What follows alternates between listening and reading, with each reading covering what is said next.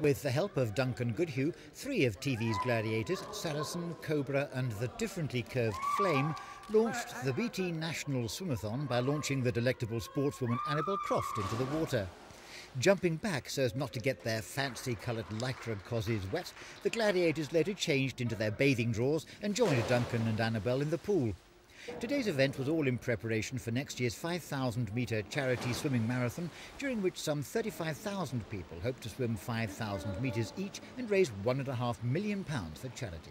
I feel that this particular charity is, is a very sporty, healthy one to get involved with and also I think it's a really great challenge for people to get and I, I like that, you know, obviously I've been associated with sport all my life so I hope people get out there and start swimming. But while you're helping yourself, you might as well help others. And there's so much commitment, they have to train. It's no more effort going around and collecting a little extra money as well for the charities. And the swimathon will take place in swimming pools up and down the country in March next year.